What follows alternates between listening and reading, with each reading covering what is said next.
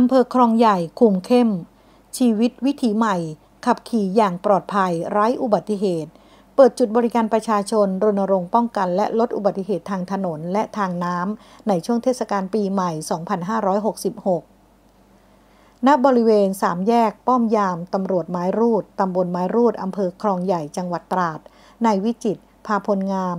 นายอำเภอคลองใหญ่เป็นประธานเปิดจุดบริการประชาชน รณรงค์ป้องกันและลดอุบัติเหตุทางถนน และทางน้ำในช่วงเทศกาลปีใหม่ 2566 ในระหว่างวันที่ 29 ธันวาคม จนถึงวันที่ 4 มกราคม 2566 โดยมีนายสุรศักดิ์ อินทรประเสริฐ นายกอบตไม้รูด รองนายกอบตไม้รูด กำนันผู้ใหญ่บ้าน ผู้ช่วยผู้ใหญ่บ้าน แพทย์ อาสาสมัครสาธารณาสุขประจำหมู่บ้าน อาสาสมัครป้องกันภัยฝ่ายพลเรือน เจ้าหน้าที่กู้ภัยสว่างบุญช่วยเหลือธรรมสถานตราด เขตคลองใหญ่และไม้รูด สพไม้รูด ชุดปฏิบัติการที่ 23 บ้านไม้รูด และเจ้าหน้าที่ทหารพรานนาวิกโยธิน และหน่วยงานอื่น ๆ เข้าร่วมเปิดจุดบริการประชาชนในช่วงเทศกาลรณรงค์ป้องกันและลดอุบัติเหตุทางถนนและทางน้ำช่วงเทศกาลปีใหม่ 2566 ทั้งนี้เพื่อเป็นการป้องกันและลดอุบัติเหตุทางถนน และลดการสูญเสียที่เกิดขึ้นจากอุบัติเหตุทางถนนในช่วงเทศกาลปีใหม่ ปี 2566 โดยมีเจ้าหน้าที่อำนวยความสะดวก ให้แก่ผู้ขับขี่ยานพาหนะ ตรวจตรากวดขันผู้ใช้ยานพาหนะทุกชนิด ให้เพิ่มความระมัดระวังในการขับขี่ยานพาหนะ เป็นกรณีพิเศษ เพื่อความปลอดภัยในชีวิตและทรัพย์สินของตนเองและผู้อื่นตลอดจนให้ความช่วยเหลือกรณีเกิดอุบัติเหตุได้ทันเหตุการณ์สำหรับในพื้นที่อำเภอคลองใหญ่ ได้ตั้งด่านจำนวน 4 จุด เช่น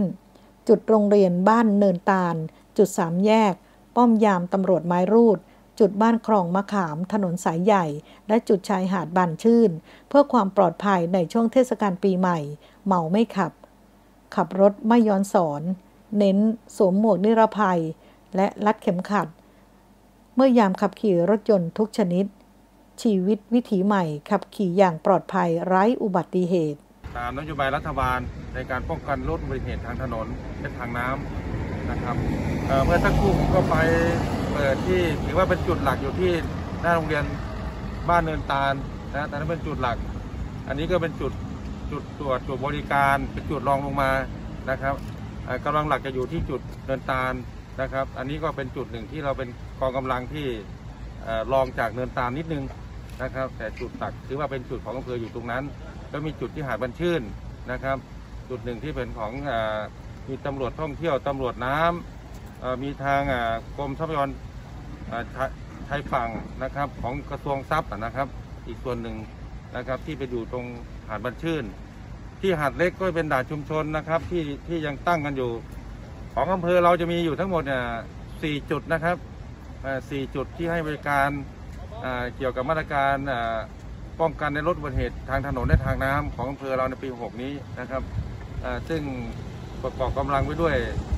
ทุกฝ่ายนะครับ ทั้งตำรวจทหารฝ่ายปกครองกำนันผู้ใหญ่บ้านท้องถิ่นอาสาสมัครต่างๆเนี่ยนะครับ ที่เราร่วมกันปฏิบัติใน 7 วันอันตรายนะครับตั้งแต่วันที่ 29 29 ธันวาคมคือวันนี้นะครับ วันแรกวันวันถึงวันที่ 4 มกราคมนะก็ขอเป็นกำลังใจให้ทุกท่านนะครับ ได้ร่วมมือร่วมแรงกันในการทำหน้าที่ด้วยความระมัดระวัง คำนึงถึงความปลอดภัยตัวเองด้วยนะครับอำเภอเรามันก็มีเส้นทางหลักอยู่เส้นเดียวนี่แหละนะครับการจราจรการปฏิบัติการก็คงไม่น่ามีปัญหาอะไรมากมายนะครับช่วงเทศกาลก็คนกลับบ้านไปเที่ยวก็จะมีการดื่มกินกันนะครับกินกันสองวันสามวันติดอย่างเงี้ยนะเอ่อเมานะก็ดีแห้งก็ดีนะครับขับความเร็วก็ดี อะไรอย่างเงี้ยอ่อนเพลียก็ดีเนี่ยนะสาเหตุจะเกิดเกิดเกิดเกิดเกิดจากพวกนี้แหละครับนะครับ พักผ่อนไม่เพียงพอไปสังสรรค์นะนอนน้อย ขับรถไปแล้วง่วงนะผมว่าสามสำคัญคือง่วงเร็วนะง่วงความเร็วเมาไอ้พวกเนี้ยสำคัญนะคาดเข็มขัดส่วนใหญ่รถยนต์ทุกวันนี้ถ้าไม่คาดมันร้องไงอ่าส่วนใหญ่จะคาดกันหมดอะถ้าไม่คาดก็ร้องนอกจากบางคนหัวหมออีกเอาไม้ไปแย่ใส่รูมันอีก ไม่ให้มันร้อง ถ้าเป็นรถปัจจุบันเนี่ยนะรถยุคใหม่ร้องหมดทุกคัน ถ้าไม่คาดเข็มขัดอะนะเออมันก็เลยเป็นการบังคับให้เราต้องคาด